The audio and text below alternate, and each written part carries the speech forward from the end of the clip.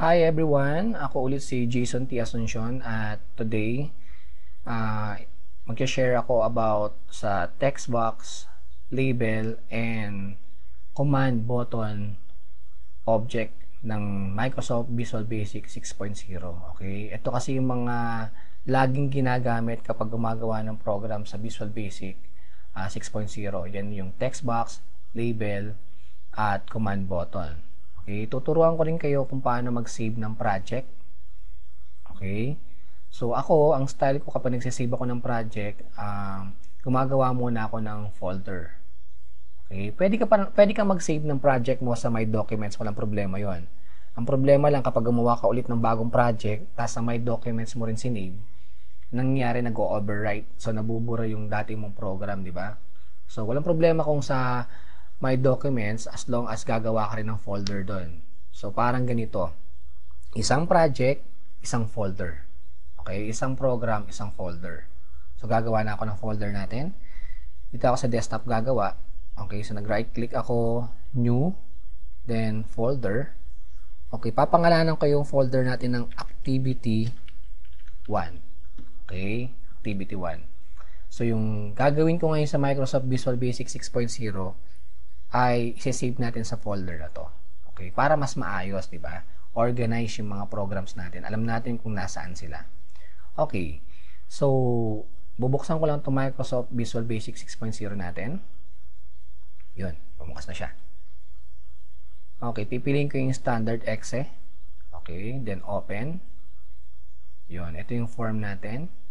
So, sabi ko sa inyo, uh, gagamit tayo ng text box, label, at command button. So, saan mahanap yon? Nandito sila sa may toolbox window natin. Ito yung label, ito yung text box, ito yung command button. Okay, ang gagawin ko lang, i-click ko tong label na to, then click and drag ako sa form. Ayun, meron na akong label. Pwede kong ilipat-lipat yan kung gusto ko, ano. Just click, hold, then drag. Okay. Kung gusto kong lakihan or liitan, uh, ilalagay ko lang yung mouse ko sa mga sizing points. Then, yun, click and drag. So, pwedeng lumaki, pwedeng lumiit. Okay. Then, kukuha rin ako ng isang text box. Okay. Click and drag rin sa form. Lakihan ko lang ng konti itong form natin. Okay. Then, isang command button. Okay. So, ito yung label, text box, command button. Okay. May magandang tanong dito. Um, Anong kaibahan ng label sa text box? Okay? Um, maliban sa kulay, no, puti yung text box as yung label is gray. Grayish, okay? Yung text box is ginagamit yan for input. Kung gusto mong uh, kumuha ng value sa user or may gusto kang i-input sa text box, ilalagay yon okay? Although pwede rin gamitin ang text box for output, pero mas laging ginagamit yan for um, input. Ang label naman, ginagamit talaga to for output. O yung pag maglalabas tayo ng value sa screen, no? So, sa label nilalabas yon. Hindi ka pwedeng mag-input uh, sa label. Never. Nagkakaroon ng input sa label. So, para medyo mas maintindihan nyo, try kong i-run tong form na to. Okay? So, kung gusto kong humingi ng pangalan doon sa gumagamit ng program, sa text box niya dapat ilagay yon Okay? Tingnan nyo. Yun, no? So, pwede tayong mag-type sa text box. Sa label, hindi. Hindi tayo pwede mag-type dyan. So, kung gagamitin mo ang text box as output, okay lang. Ang problema kasi, nabubura rin, di ba? Okay. Yung command button naman, okay, standby muna yan. So, wala pa siyang nangyayari dahil wala pang code sa command button. Sa exercise na to, ang gusto nating mangyari is, kapag pinindot ko yung command button at may pangalan, na nakatype, halimbawa dito sa may text box ko, ang lalabas dito sa may label 1 is hello, tapos yung pangalan na nakatype sa text 1. Okay, isang simpleng exercises lang to just to familiarize kayo sa mga objects ng Visual Basic at the same time sa mga properties nito.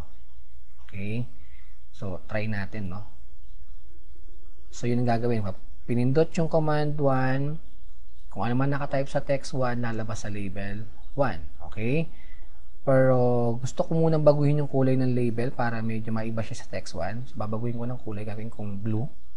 Then, yung nakasulat sa may command 1 na salita, gusto kong palitan ng uh, enter word. Enter. Itong command 1, papalitan ko ng enter, no? So, ang gagawin ko lang, i-click ko yung command button 1. Then, sa property window. So, lahat ng properties ng command 1 nandito sa may property window na. Then, sa caption property niya, ang nakalagay dun sa may um, value niya is command 1, di ba? So, pag pinalitan ko yan, pag binura ko yung nakatype na command 1, at tinype ko na enter, yun. Okay, napalitan rin yung nakasulat dun sa may command button. Okay, yun yung property ng command button kung saan, kung ano man yung mga uh, gusto mong nakasulat dun sa may command button, dito mo ilalagay sa may caption property. Okay? Same sa label, no? Gusto ko, kapag uh, nag-run yung program, wala nakasulat na label 1, di ba? Mas maganda kung wala nakasulat na label 1. So, pipindutin ko lang yung label.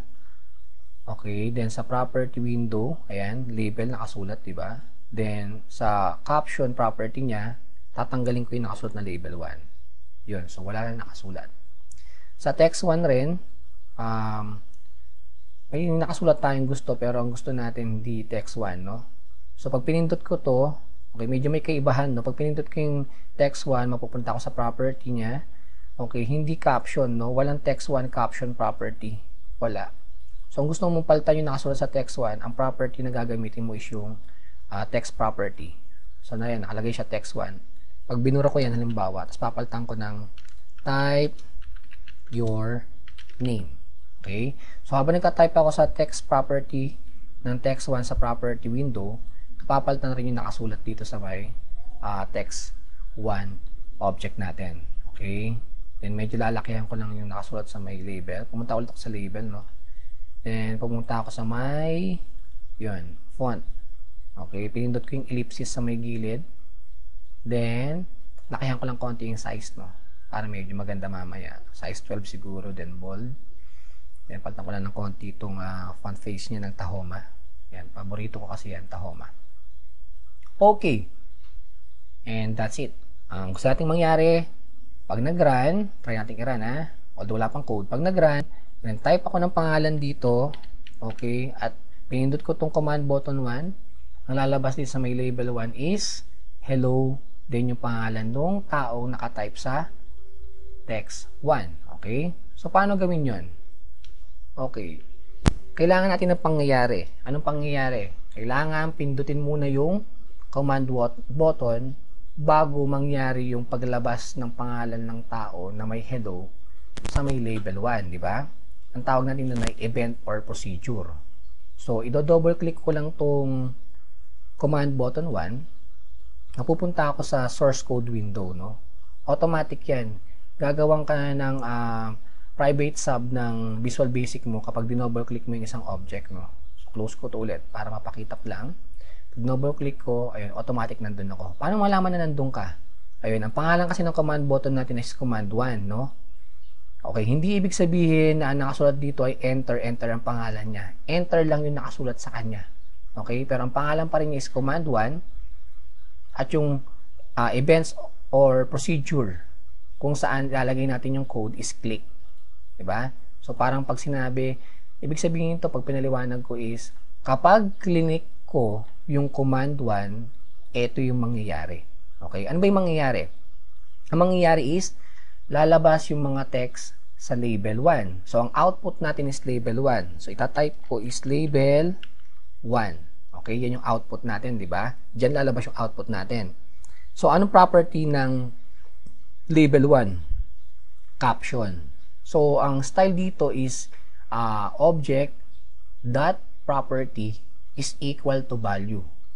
Object, yung bagay na gusto mong gamitin, anong property niya, tapos anong value yung gusto mong lumabas dun sa property na yon. So, ang object is label 1, okay?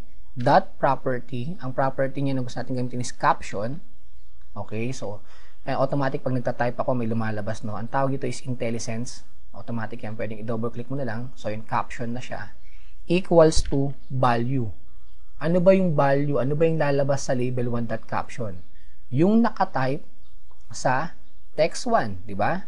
So, gagawin ko lang, text1, yun yung object, di ba? At kung anong nakatype sa kanya, nakalagay yun sa property niya na text. Okay?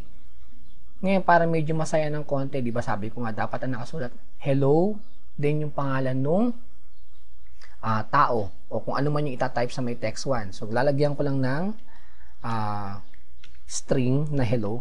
Okay, hello, then space, then lalagyan ko ng uh, plus symbol or addition symbol doon sa gitna. So, ang nakalagay is label1.caption equal to hello plus text1.text. Okay? Ang ibig sabihin ng uh, double quote is string. Okay? Ang string is uh, combination of letter, number, symbol, or spaces. Okay?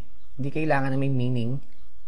Uh, pero any ano yan, any word kahit walang meaning no basta combination letter number symbol and spaces So, parang sinabi ko na yung hello plus yung nakatype sa text1 dot text.